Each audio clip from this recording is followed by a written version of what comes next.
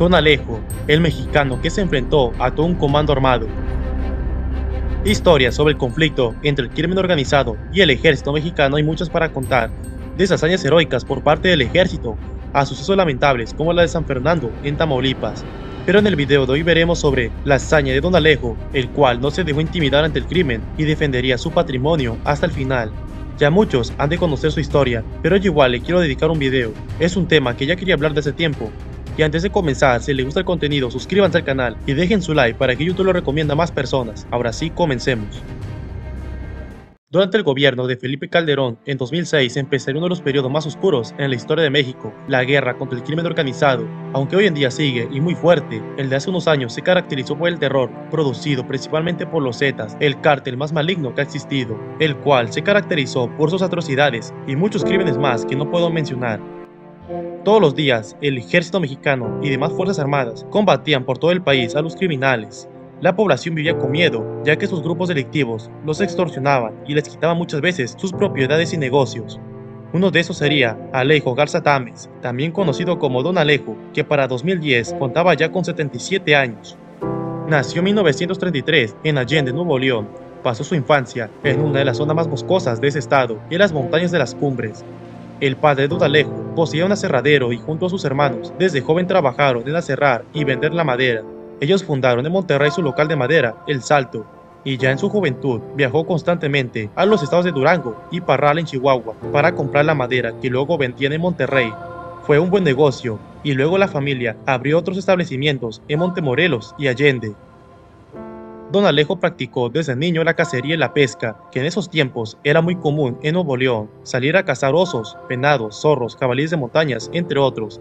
Y es que esa experiencia con armas hizo que empezara su colección Además, adquirió una reputación de ser buen tirador y se especializaba en la caza de palomas, gansos y venados. Esto lo llevó a ser conocido en las zonas donde trabajaba y cazaba. Pero él no es recordado por ser cazador, sino por su hazaña de derrotar al crimen organizado él solo. El 13 de noviembre de 2011, miembros del cártel de los Zetas llegaron a su rancho en las trocas y bajaron con armas de pesado calibre y le exigieron el rancho a Don Alejo, le advirtieron que contaba con 24 horas para abandonar su propiedad. Le querían quitar en un día todo por lo que había trabajado por años. Don Alejo, a sus 77 años, se negó a entregarlo, y al ver esto, los criminales le dijeron que volverían y la tomarían por la fuerza. Pensaron que sería algo fácil, pero no sabían lo que les esperaba. Tras esta amenaza, decidió reunir a los trabajadores de su rancho y les ordenó que no se presentaran a trabajar al día siguiente, 14 de noviembre, Don Alejo sacó varias armas, fortificó la casa y puso varios fusiles en las ventanas y puertas para disparar las veces que pudiera. Los que vieron la película de Rambo 5 notarán que Rambo igual armó toda la casa donde se enfrentó él solo a los narcotraficantes, donde los acabaría todos, pues algo parecido haría Don Alejo, en la madrugada del 14 de noviembre de 2011, llegaron al rancho los vehículos con los delincuentes, bajaron y se colocaron al frente de la casa.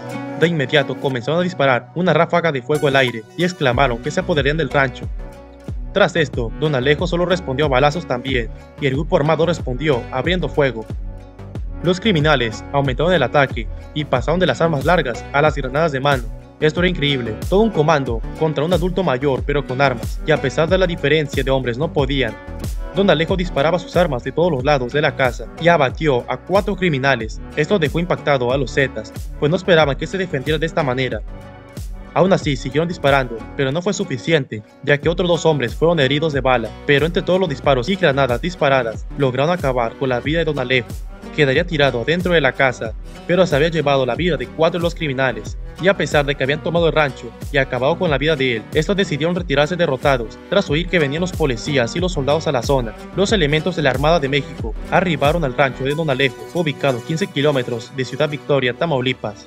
Los elementos encontraron la casa principal destrozada por los impactos de bala y las explosiones de granadas. Encontraron en la parte exterior cuatro cadáveres y dos heridos, pero en el interior de la casa encontraron solo el cuerpo de Don Alejo.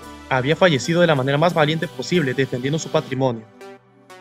Al investigar el rancho, se reveló que todas las ventanas y puertas se encontraban armadas y que por todos los lados habían casquillos de balas. Finalmente se dio a conocer que Don Alejo había diseñado su estrategia para pelear solo, colocando armas en todas las ventanas y puertas, lo cual, a pesar de que le costó la vida, logró la victoria ya que los criminales no pudieron tomar su rancho.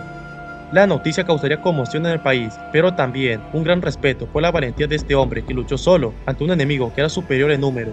Su historia fue tan impactante que se compusieron corridos musicales en su honor, y muchos hoy en día conocen su hazaña heroica de defender las cosas que te costaron ganar y construir con mucho esfuerzo. Esta fue la historia, hazaña y triste final de Don Alejo. Si te gustó el video y quieres más contenido, suscríbete a mi canal, deja tu like y comparte. Hasta la próxima.